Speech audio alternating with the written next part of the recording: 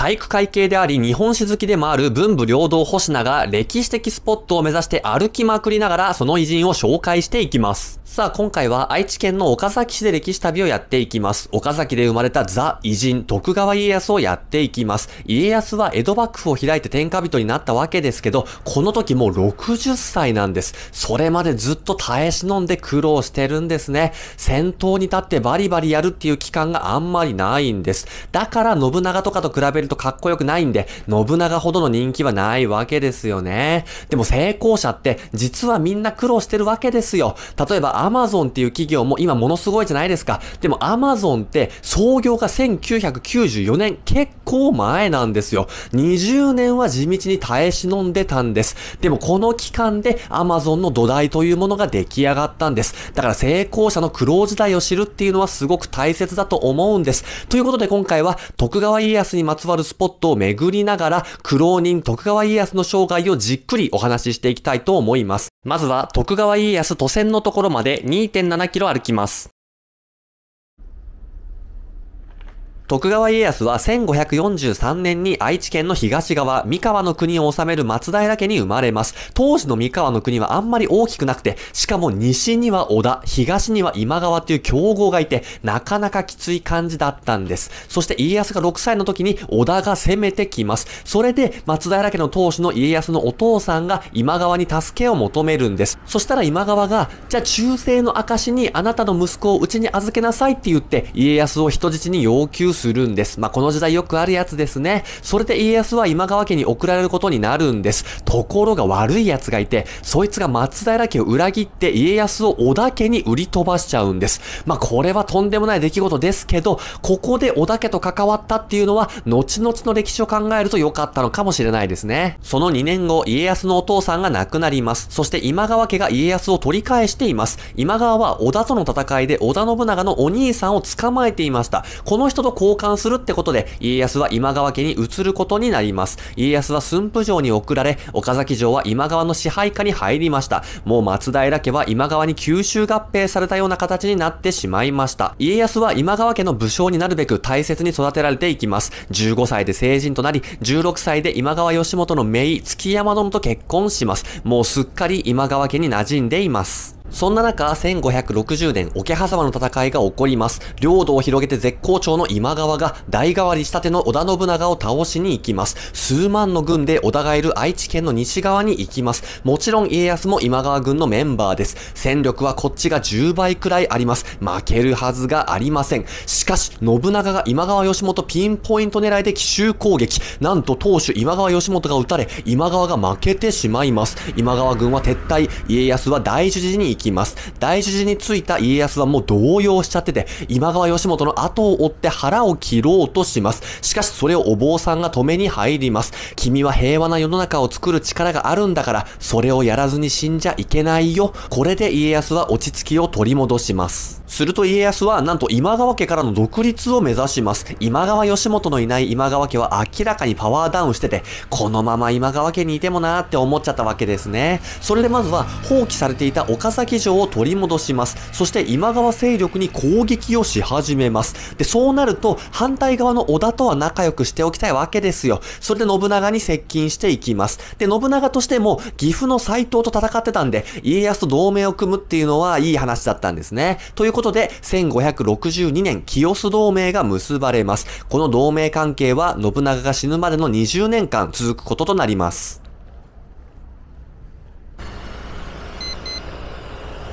さあ、徳川家康都線のところですね。桶狭間の戦いで今川軍が負けて家康は撤退します。それでここで船に乗って、で、この、こっちにある矢作川を進んで大樹寺に行きます。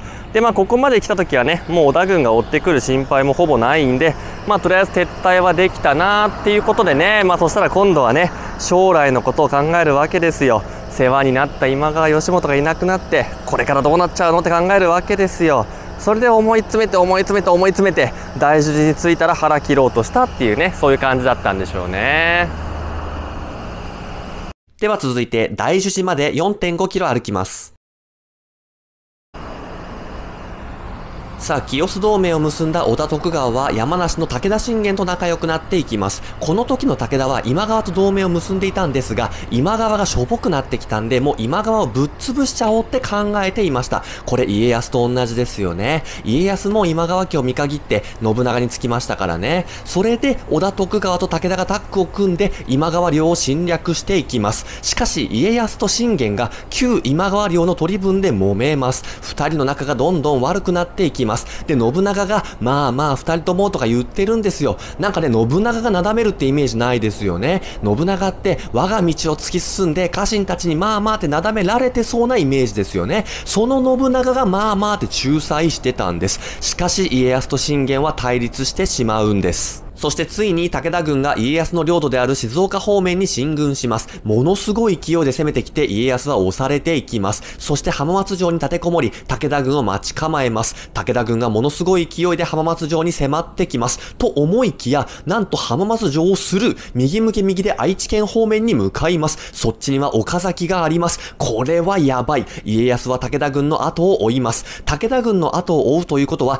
武田軍はこちらに背中を向けているということです。だったらこっちにもチャンスがあります。そしてたどり着いた味方が原大地。そこにいたのは、こちらに武器を向けている体勢バッチリの武田軍でした。信玄は家康が追いかけてくるのを読んでいたんです。1573年、味方が原の戦いが始まります。戦いはもう一方的に武田軍が家康軍をボコボコにしていきます。家康はボロボロになりながら、なんとか浜松城に逃げ帰ります。絶好調の武田軍はさらに進んでいきます。もう家康になすすべはありません。信長も京都方面での戦いが忙しくて、信玄の勢いを止めることができません。家康信長大ピンチです。しかしその武田信玄が病気で亡くなるんです。武田軍は撤退、家康は領土を回復します。これは助かりました。しかし、後を継いだ武田勝頼もすごくて、また家康領が奪われていきます。そして勝頼の次のターゲットは長篠城です。ここを奪われたらやばい。1575年、長篠の戦いが起こります。信長が京都での戦いが落ち着いてきて、援軍に駆けつけます。そして、織田徳川の連合軍で勝利、武田軍に致命的なダメージを与えます。しかしその後も武田勝頼が粘り強くて家康は苦しめられます。その間に信長はどんどん勢力を伸ばして天下統一を掲げるまでになっています。もともとは対等な関係だったのに、いつの間にか信長の子分みたいな感じになり下がっています。そしてそんなある日、信長が家康に詰め寄ります。お前の嫁と長男、武田と繋がってねえか？い、いえ、そんなはずは、殺せ。信長の命令に対して家康は何も言い返せませんでした。信長の命令に従うんです。それだけはっきりした主従関係になっていたんです。そんな中、1582年、本能寺の変が起こります。明智光秀によって信長が倒されてしまいます。この時家康は大阪でお茶をしていました。家康は信長の子分です。明智に狙われているかもしれません。でも家康は仲間をほとんど連れてきていません。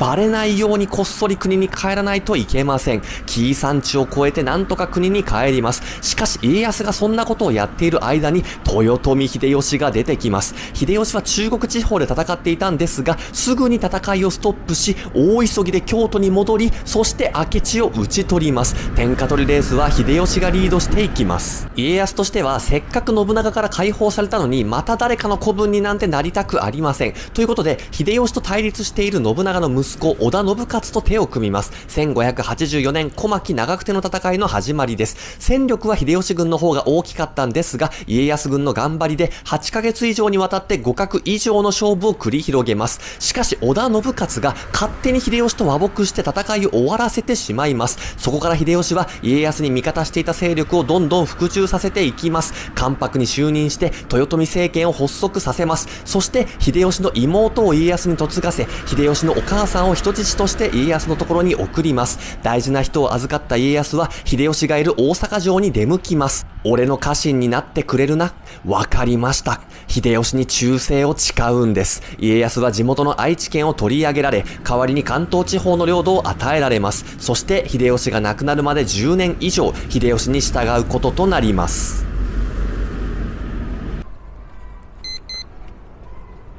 さあ、大事ですね。家康が桶狭間の戦いから逃れて、今川義元の後を追って腹を切ろうとしたところです。で、住職が、あんたは平和な世の中を作れる男だよって言って、思いとどまらせたわけですね。で、ここは徳川将軍家の菩提寺で、歴代将軍の位牌がここにあります。まあ、15代慶喜のだけはないんですけどね。慶喜が死ぬ時ってもう将軍じゃなかったわけなんで、一般市民として扱ってほしいっていう本人の希望を尊重して、えー、日暮里の谷中霊園にね、お墓があるんですね。その慶喜以外の将軍14人の位牌がここにあって、なんかね、本人の身長と同じ高さになってるみたいなんですよね。はい。ということで、じゃあちょっと行っていきたいと思います。さあ、行ってきました。位牌も見てきまして、もうね、将軍の身長が一目でわかりますね。例えば家康は159センチぐらいでね、まあ、当時の平均よりちょっと高いっていうぐらいでした。で、も他の将軍も大体それぐらいで、なんか八代吉宗ってでかいイメージがなんかありますけど、吉宗も実は155センチだったみたいですね。で、その中で明らかに身長が低い人が2人だけいて、まあ1人は七代家継ですね。まあ7歳で亡くなってるんで、まあ、135センチってことで、まあ、むしろでかいぐらいですかね、7歳にしてはね。で、もう一人が5代綱吉でね、124センチしかなかったみたいですね。多分、低身長症だったんじゃないかっていうことみたいですね。まあ、それがコンプレックスになってね、生類憐れみの例とか思い切ったことをやったみたいですね。まあ、そういう推測ができますよね。はい。じゃあ次どんどん行きましょう。では続いて、岡崎城まで3.6キロ歩きます。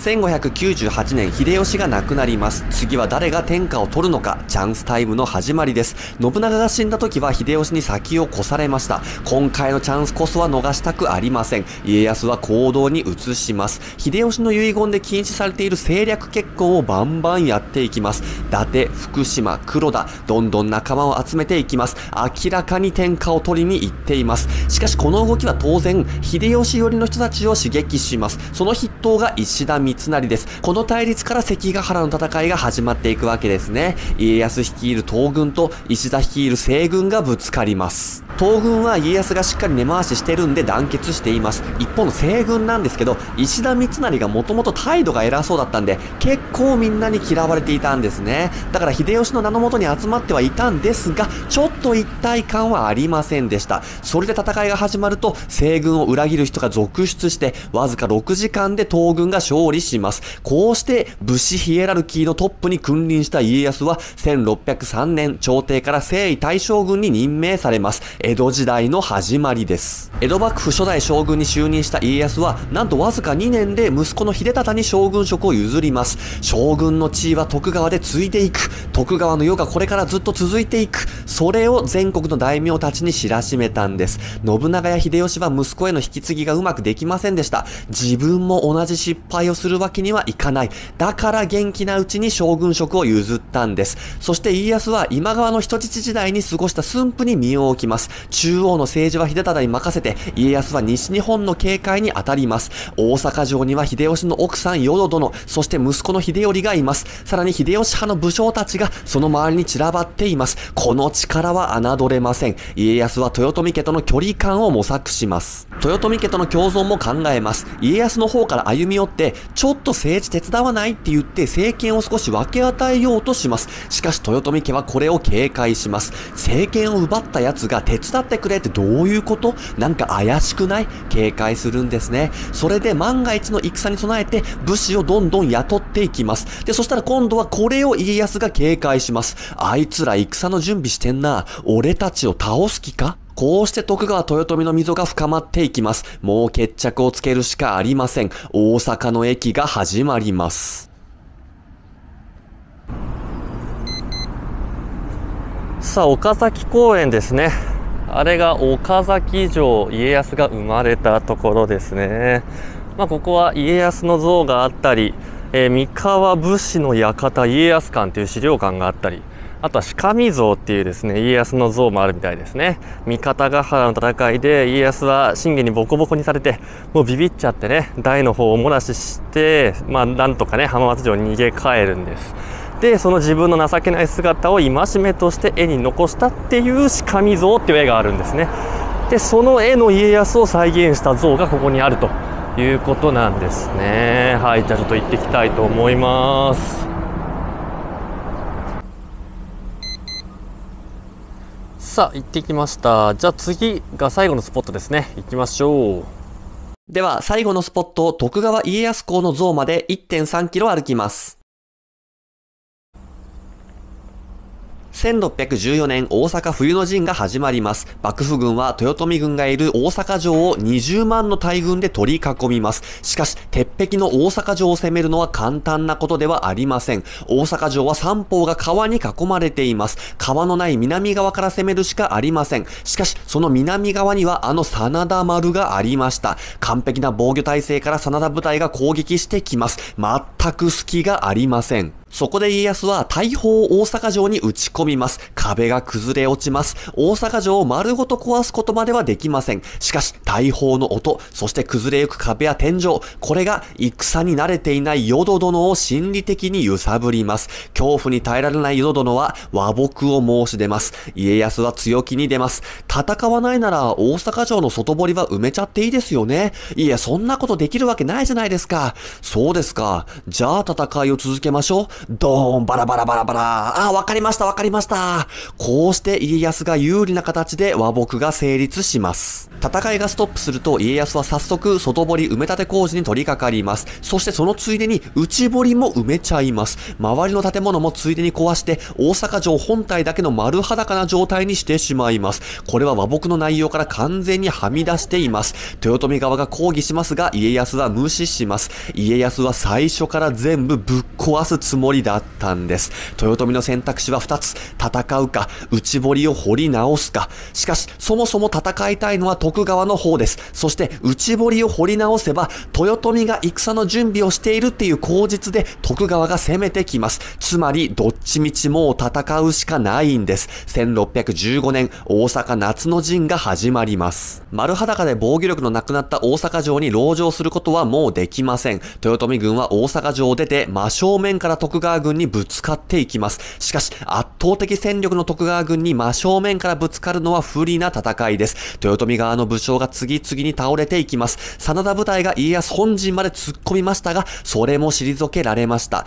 豊臣軍は大阪城に退却。そして、秀頼と淀殿が自害。豊臣家は滅亡したのでした。豊臣という最大の脅威を潰した家康は、今度は制度づくりをやっていきます。武家諸法度によって武士のあり方を定めます。近中並びに公家諸法度によって天皇と公家のあり方も定めます。もうすべてをコントロールすることで、徳川の世を作り上げました。260年余り続く江戸幕府の土台を作り上げました。そして、翌1616年、家康は75歳で亡くなります。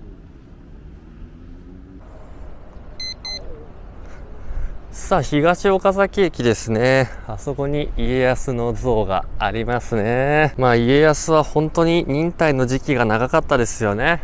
信長が死ぬまで10年近く耐えて、秀吉が死ぬまで10年以上耐えましたからね。まあこれ勝負を焦ってね、信長とか秀吉に勝負を挑んでたら多分家康は天下を取れなかったでしょうからね。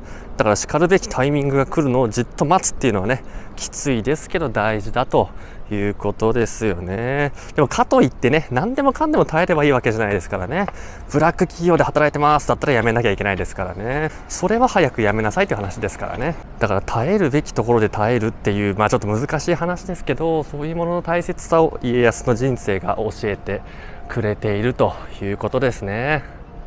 では、今回はここまでですね。じゃあこれから名古屋に移動して午後から桶狭間の戦いと小牧長久手の戦いっていう2つのバトルを取り上げていきたいと思います。では今回は以上です。ご視聴ありがとうございました。